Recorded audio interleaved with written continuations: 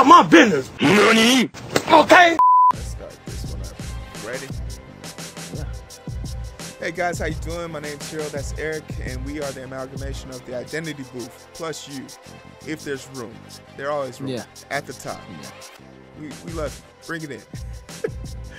Uh, you can find me on all major platforms, the underscore identity underscore booth. That's the link tree. All my link profiles are there. You can find Eric ET Facts on all major platforms. Um, we have to revisit this story, and unfortunately for us, in the process of revisiting this story, we've also run into a bunch of other things happening in this country where teenagers, children, children are being killed by the police. Um, and a story we covered last week was about this story. It was about uh, the Austin East Magnet School and how there was a suppose there was an accusation that there was a school shooting.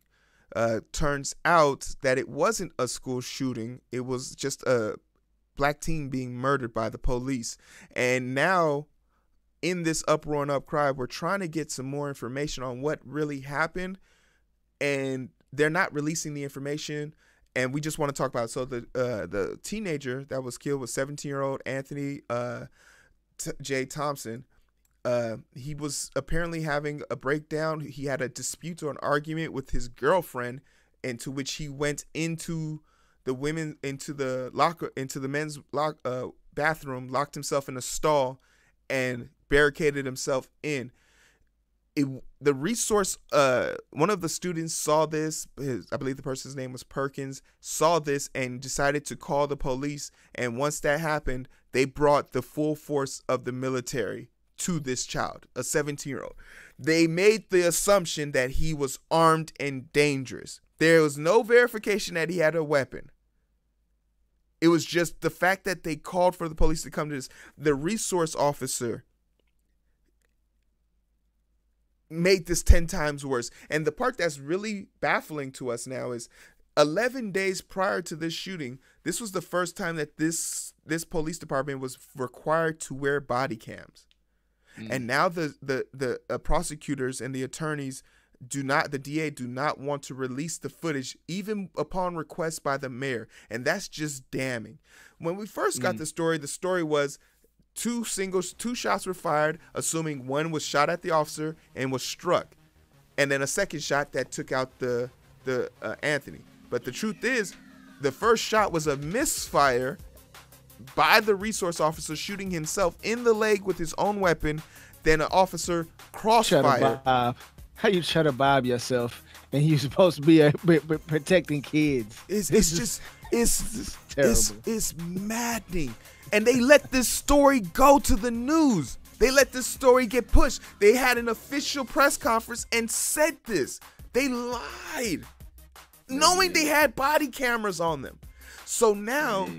this kid, this kid who was begging for help was once again met with violence.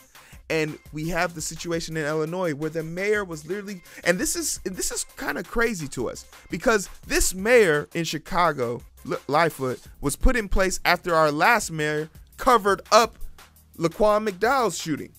And she covered up another kid shooting for two weeks. A 13 year old. This is literally the last thing we see before he is shot. And it's just eerie as fuck that kids keep getting shot by police.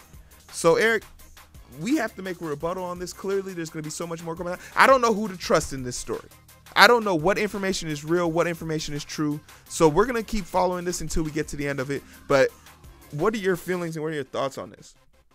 dude this is a huge huge problem that we have in the country man you know we have well several but why are police in the school mm. to me to me this is conditioning kids to get used to having police around that they're always being watched that someone with a with a gun that's bigger and stronger than them is there like if for you guys who haven't watched the video here on I put a video out too maybe a month and a half ago two months ago where this uh this young black girl got ragdolled and slammed on her head by the police was out unconscious and the cop was still wrestling her we see you know them pepper spraying kids. We see this stuff all the time. They're not there to help your children.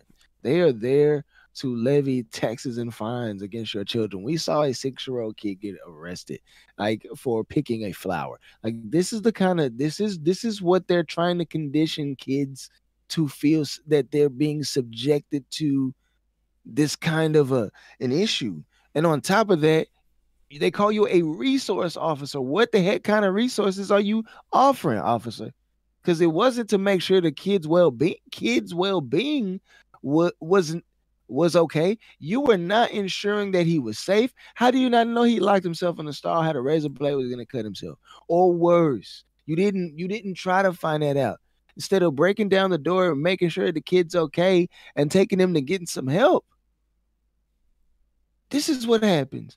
And then on top of that, you cheddar bob yourself. You shoot yourself. The cops kick in the door. They just start shooting everywhere. Don't even react situationally properly. They just come in guns a blazing and just so happen to hit the boy and the boy gone. When he's the one who needed help. I don't know. It's just I don't know. That, the thing I mean, that the thing that's gonna be always gonna be the question for me is for every resource officer, we should at least have six social workers. Like this could the social worker would have found this out quicker than the officer would have. Get like I also think uh put the as a social worker i see social workers saying give me a body chest thing give me some body armor i will go in there and talk to him let me go in there and negotiate. I, I don't get why violence is always the first thing being brought to kids. Like, as much as we talk about save the kids, protect the kids, do this, do that, it's always violence we bring first to them. It's mm. it, like un, unequivocal. And like, people like sitting here thinking school shootings are on the uprise. Yeah, and you better and and I'm not saying that resource officers aren't necessary because guess what? School shootings don't happen in black schools as much because they got metal detectors outside. Every kid has to walk through a medical detect a metal detector. Every day they get on a they have to go through TSA and they don't ever travel a goddamn place. So for me, I see the the benefit of having them here, but what's the benefit of having an officer draw his weapon on a student? that you don't know is armed? What is the benefit? Like all the weapons you had. I, I, mean, and and don't get me wrong. I I see I see this situation, but you're talking about taking the life of a kid. Mm. Like that's what you woke up and said you wanted to do today. The 13 year old had his hands up. He's running from you. And once again, I'll say this again. I'll say it for the rest of my life.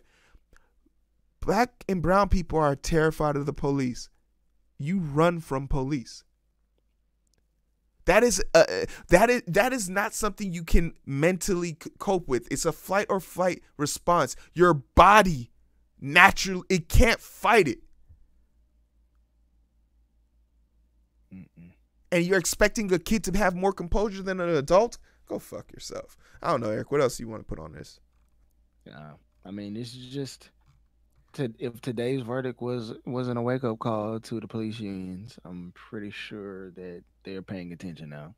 I promise you, people are going to start looking at their policies and procedures and making quiet adjustments, changing their how how aggressive they allow people to be, and they're going to throw people under the bus. I expect to see that from a lot of a lot of agencies here really quickly, and fortunate for us, I'm I'm glad that it's gonna happen, and I sincerely hope that changes are made because again, this is unnecessary.